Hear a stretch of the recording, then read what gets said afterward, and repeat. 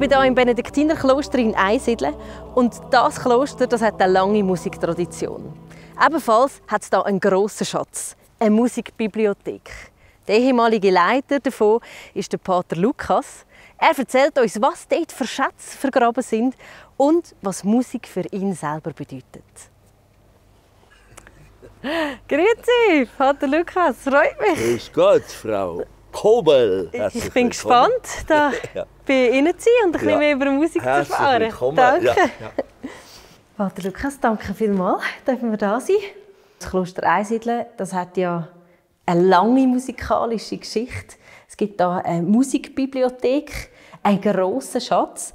Vielleicht gerade als Startfrage, was ist Ihr liebster Schatz in dieser ganzen Bibliothek drin? Der liebste Schatz oder der größte Schatz ist ein kleines Blättchen, wo der Mozart selber geschrieben hat.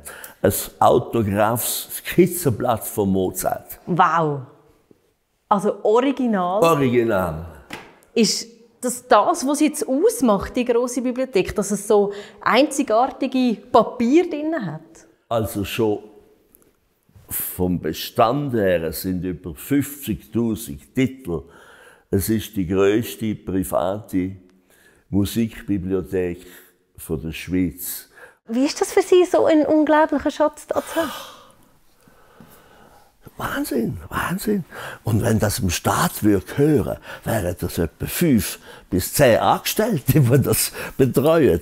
Ich habe das 42 Jahre lang allein gemacht. Ich habe etwas gelesen, der Schweizer Psalm, sagt da.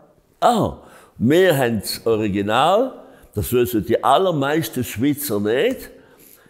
Trittst die Morgen rot daher, dass das nicht der Originaltext ist, sondern der Originaltext ist Diligam te Domine, Psalm 18. Ich will dich lieben, Herr. Und da passt der Text zur Musik.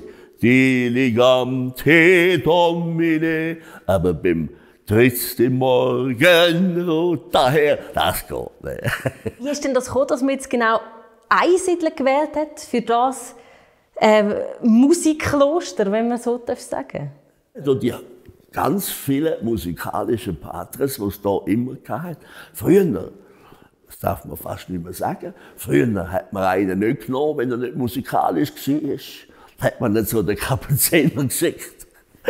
Heute nimmt man alles natürlich. Aber das Benediktinerkloster ist sowieso etwas Musikalisches, weil im Unterschied zu den Kapuziner tun die äh, Benediktiner alles singen, das Chorgebet singen, oder? Wir gehen jetzt noch viermal am Tag gehen wir in die und, und singen.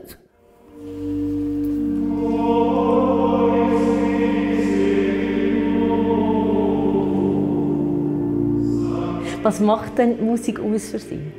Wieso ist das so eine große Faszination? Also Musik, ich könnte mir das Leben ohne Musik gar nicht vorstellen. Es spricht eine tiefe Schicht vom Menschen an, wo das Wort nicht hinkommen. Also würden Sie sagen, es hat wirklich, also Glaube und Musik, das, das gehört einfach zusammen? Oder wie ist da die Verbindung? Jeden Fall.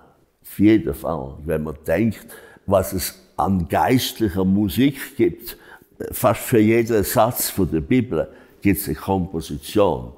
Und Sie dürfen nicht vergessen, Psalmen, wo wir jeden Tag singen das sind schon im Alten Testament Lieder gesehen.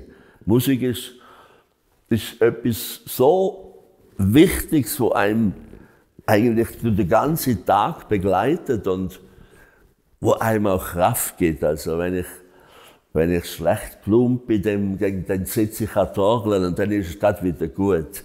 Weil da, da sind alle, alle Sorgen und Probleme weg.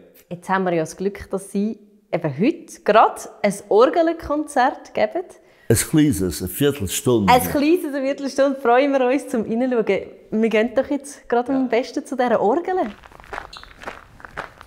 Was bedeutet für Sie Orgel? Ich muss sagen, das bedeutet mir sehr viel. Auch seit 1972 kann ich dürfen mitspielen bei den einzelnen Orgelkonzerten. Und bei diesen Orgelkonzerten haben wir durchschnittlich immer 600 bis 800 Leute da. Aber das ist die schöne Kille, die tollen Orgeln und ganz bestimmt auch die Mönchleute, wenn die Mönchchöre spielen. Auch wenn's, wir können einen berühmten Pariser Organist holen, da kommen wenig Leute. Die wollen Mönch hören.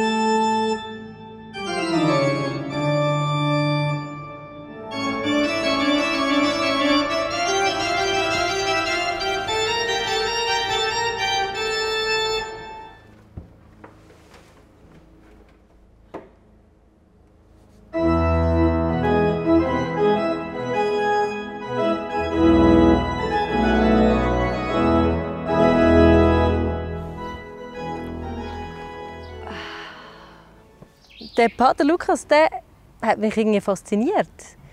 Seine Leidenschaft, die er hat für die Musik. Und wie er da vor all diesen Leuten in der Klosterkirche Orgel gespielt hat, als wäre es sein Wohnzimmer. Einfach alles in XXL. Mega schön. So, wir machen jetzt Feierabend. Und ich hole mir jetzt noch das Klosterbräu.